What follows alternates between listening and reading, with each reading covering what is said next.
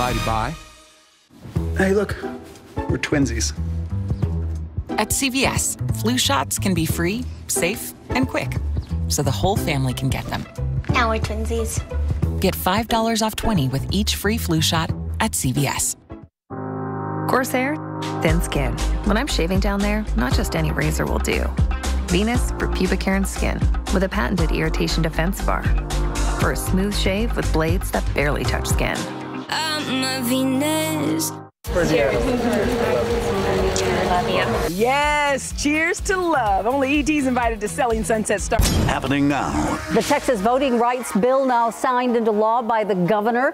When the changes could take effect at the polls and how the disabled community could be affected next. And with hospitals across the nation reaching crisis levels, a new variant of the coronavirus has now emerged. Coming up, the rising infections among children.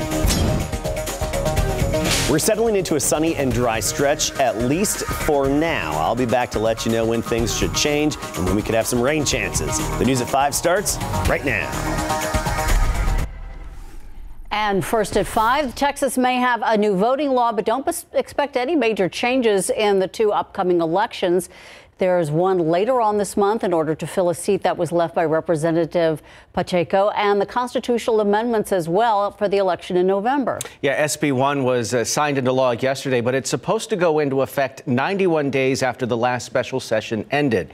Jesse Degollado says among those who will be waiting and watching are the Bexar County's election administrator and San Antonio's disability community. The new law won't be affecting Bexar County elections anytime soon. It won't go into effect by law until December at the earliest, depending on the swirl of pending litigation trying to stop the new voting law. We are in a holding pattern, so at this point, it will have no effect on the two upcoming elections that we're doing. But when it does, says Callanen, I do believe it will have some effect I absolutely believe it. Just as many in the disability community say they had feared and predicted. They're frightened. They don't know what to believe. A disability advocate with Rev Up Texas says, for instance, the new law will make it harder for disabled voters to get the help they need. Their uh, attendant may be uh, charged with a felony if they help them fill out even their mail in ballot. They'll also have to verify the reason why they need a personal attendant to help them vote. It would be a new form with a new requirement. But right now, we don't have that. What's to come, says Kafka, will no doubt be a setback. At a time that we're building the disability vote. But in response, he says, starting next week, September 13th to the 20th, is National Disability Voter Registration Week. We're going to do everything to try to educate our people and keep the turnout going, but it is right now sending a chilling effect. Jesse Degollado, KSAT 12 News. A man is dead after he accidentally shot himself last night. He has been identified as 21 year old Jacob Anthony Salazar. According to San Antonio police, it happened at a home on Carlotta Avenue over on the west side. A witness told investigators Salazar was handling the gun before it went off, hitting him in the head. He was taken to the hospital but did not survive. A man is recovering from gunshot wounds after he was hit during an argument on the northwest side this morning, very early this morning. San Antonio police say it was around 4 a.m. when the victim was found sitting in an SUV in the parking lot of the Cypress Cove Apartments on Northwest Loop 410. Police have previously released video of the shooting, which only shows two men near the car, one of them opening fire before then driving off. The family of the man who was hit thinks they there is someone out there who knows something. The family of a man gunned down outside of a far east side restaurant three years ago, asking for your help finding his killer. 44 year old Harry and Chase was shot and killed outside Big Castle Smokehouse at I 10 and Dietrich Road back on September 8, 2018.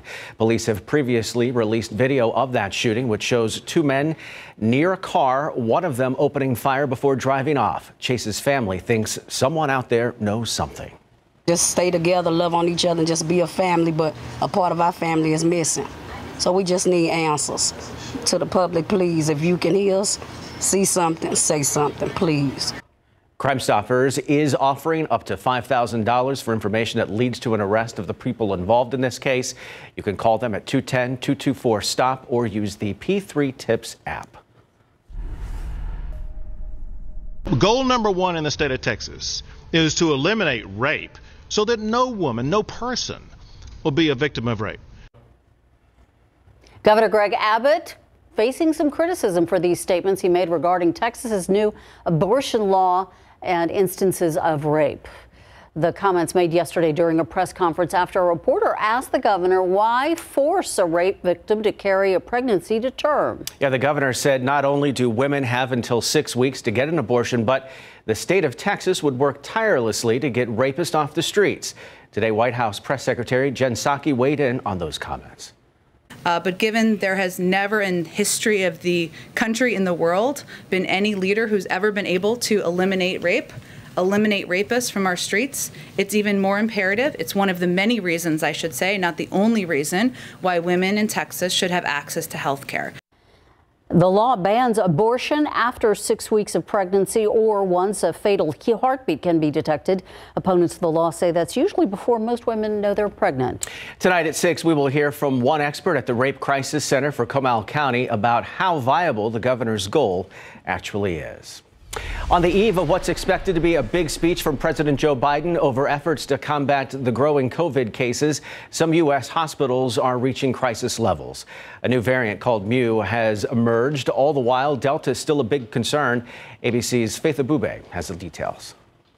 Tonight, hospitals across the U.S. buckling under the weight of new COVID infections.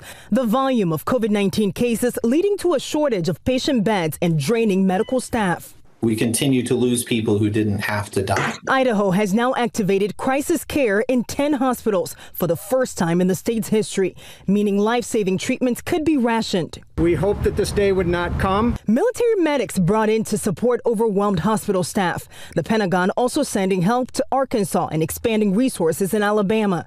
The virus is currently raging in more than 95% of U.S. counties. The Delta variant fueling the surge.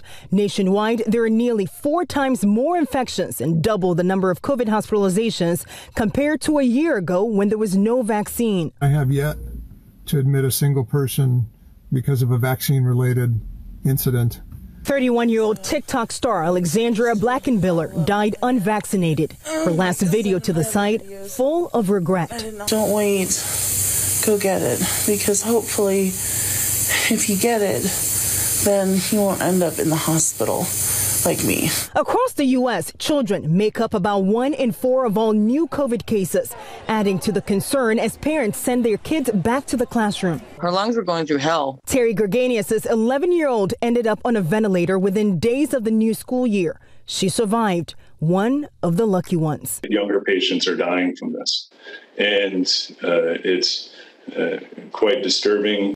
And Dr. Anthony Fauci says data from Israel shows a slight drop in the vaccine's protection against hospital stays, though still highly effective, which makes him think a third shot could become a standard part of the vaccine regimen. In Washington, Faith Abubey, ABC News. It is called the anniversary effect, a feeling of sadness, grief, or anxiety. And this September 11th may be all too real for many Americans, as it is the 20th anniversary of the deadliest terror attack on U.S. soil. And as one expert explains, there are some ways, though, to cope. It's one of those defining moments in time um, that changed the way that we think about the world. 20 years ago, the day America was attacked. As we count down to September 11th, the memories may be overwhelming. It really does hit you harder especially when they're they're round number or big number anniversaries. It's called the anniversary effect, an increase in distress around a traumatic event. Ken Yeager, the director of the Stress, Trauma, and Resilience program at Ohio State Wexner Medical Center, says this 9 11 anniversary may be even more troubling, especially with the turmoil in Afghanistan. If you're struggling to cope, Yeager says to acknowledge your feelings and talk to someone you trust. All of these are naturally occurring emotions, and rather than trying to avoid them, it's probably more important to name them and to call them out With 9 11 and in any tragic situation, Yeager says using coping skills can help. Taking a walk, giving yourself time to sit and take a few deep breaths until you work through this, or just actually doing something to commemorate the tragic losses that occurred on that day. And as a new generation is exposed to 9 11, Yeager says remember to talk to your children. Help them work through any feelings that may come up. Yeager says it's also important to check in with your adult children as well. They may have been traumatized while watching 9 11 unfold when they were young. Meanwhile, today marks the 100th anniversary of one of the worst floods to ever hit San Antonio. We are talking about the flood of 1921, which is actually what resulted in the iconic San Antonio Riverwalk. That flood was a product of a tropical storm that first made landfall in Tampico, Mexico. The energy of that storm produced what at the time was record flooding. Over the course of seven, or uh, over the course of three days, San Antonio saw about seven inches of rain. With no flood control, then the city sustained more than three million dollars worth of property damage, and dozens of people died. City leaders did learn from that storm. They developed plans to build the Olmos Dam and what is now known as the San Antonio Riverwalk. Quite a contrast today. Sunny, right up near 100 degrees, 98 degrees currently. But here's the key a dew point of 54. So a lack of humidity in the air this afternoon. And if you factor that in, the feels like temperature is 96 degrees. Usually we see it above the air temperature. That's not the case out there right now. Looking at the weather watchers, well into the 90s for most of us out there in the backyards. Bulverde 95, Windcrest 96, Utopia triple digits at 100. As we go through the evening, we do have a few showers moving their way into parts of the hill country here. A little bit of upper level energy there. So some showers right now around Junction, moving toward Edwards County. Otherwise, we're looking sunny and dry the rest of this evening. Low humidity, cooler mornings, changes in temperatures, and promising rain chances coming up. Thanks so much, Adam. Texas leads the nation in fatalities from wrong, wrong way driving. It is an issue that uh, we have seen come across many times here in San Antonio. Our Samuel King joins us now and tells us there are some common causes for this dangerous behavior. Yeah, that's right, uh, Tim and Ursula. The AAA Foundation for Traffic Safety found that alcohol impairment, older age, and driving alone were th the three biggest causes of those incidents. Now, this person on I 35 downtown this past holiday weekend, you see him driving the wrong way there. One of several wrong way driving incidents in San Antonio recently. The prior weekend, at least one person was killed on Loop 410. AAA Texas says these types of crashes are completely preventable. And coming up at 6, what you can do, and if you see a wrong way driver like this one, in ways that you can protect yourself. Here is a look at uh, traffic uh, this evening. Uh, this is going to be Loop 1604 at uh, Babcock. You can see some slow uh, traffic uh, there in the lanes here, the westbound lanes on 1604, right there by Six Flags and the shops at La Cantera. So here's a look at that travel time right now 28 minutes between 281 and Bandera Road. Tim, Ursula? Thanks, Sam. The summer heat is still here, and it's South Texas, so it's going to stick around. Throw in some groceries in your car, though, could be a problem. The two don't mix. Up next, how to properly store your food before you put it away at home and how you might be doing it wrong. Next.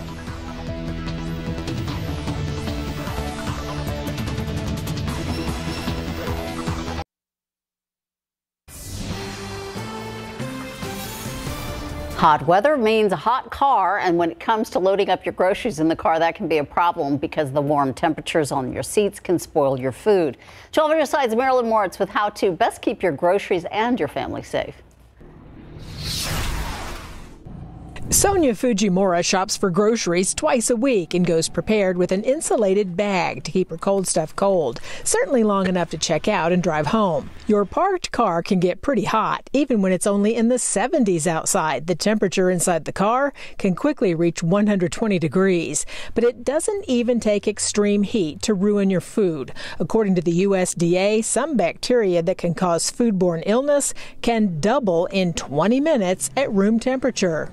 So, how can you keep your food fresh and safe? Plan ahead. First, try to shop in the mornings when it's cooler. Insulated bags with cold packs can help. Meat, poultry, and fish are at the highest risk for food poisoning, so don't let them sit in your cart while you shop for a long time. Ask for a bag of ice at the fish counter. Many people go to several grocery stores in a single trip. If you make multiple stops, make your last stop the place where you buy your meat and poultry. That way, you minimize the amount of time these foods spend unrefrigerated. For the ride home, let the hot air escape out the windows for 20 seconds and crank up the AC. And of course, when you get home, put the cold sensitive foods away first. Marilyn Moritz, KSAT 12 News. From the heat of summer, looking ahead to hopefully when it's a little cooler. If you love Thanksgiving, here is definitely something to look forward to. The Macy's Thanksgiving Day Parade will be an in person event this year. Last year, of course, there were no balloons or floats, just performances. Participants will need to show proof of vaccination, though. The 95th annual parade will kick off Thanksgiving morning in New York City. But then back to the heat. it is super hot out there.